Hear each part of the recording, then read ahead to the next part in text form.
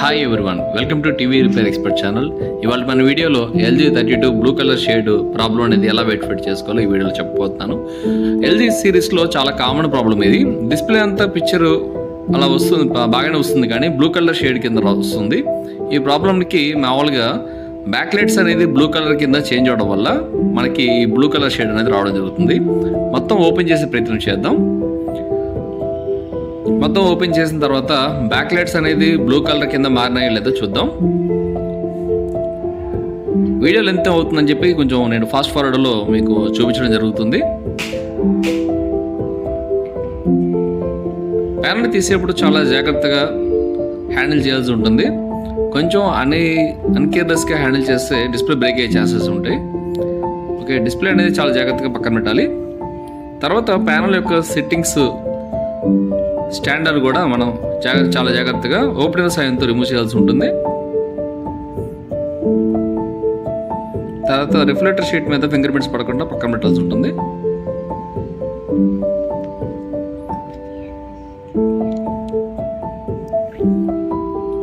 Okay బ్యాక్లైట్స్ని మనం backlight టెస్ట్తో చెక్ చేద్దాం. బ్యాక్లెట్ టెస్ట్తో చెక్ చేశాను. మనం అనుకున్నట్టుగానే ఇవి లైట్స్ అనేది వైట్కి వెళ్ళగాల్సింది బ్లూ కలర్ కింద వెలుగుతున్నాయి. సరే కొత్త ప్యాక్లెట్స్ని రీప్లేస్మెంట్ చేసే ప్రయత్నం చేద్దాం.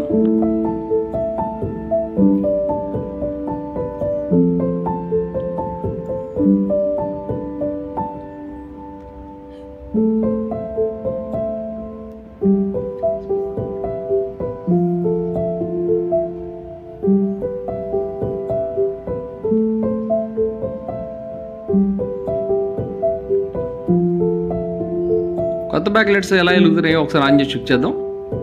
Wow nice. వైట్గా వెలుగుతున్నాయి. చూసారా? ఈ వీడియో చూస్తున్నట్టుగా ఆఫ్టర్ ఎలా ఉంది బిఫోర్ ఎలా ఉందో చూస్తున్నారుగా. ఓకే మొత్తం టోటల్గా మొత్తం రిఫ్లెక్టర్ షీట్ వైట్ షీట్ అంతా కూడా బిగిచ్చేసి ప్యానల్ కూడా పెట్టేసి మొత్తం ఒకసారి ఆన్ చేసి చెక్ చేద్దాం. బిగిచ్చేటప్పుడు ఫింగర్ ప్రింట్స్ పడకుండా చాలా జాగ్రత్తగా ఉండాలి. ఇది ప్యానల్ సిట్టర్.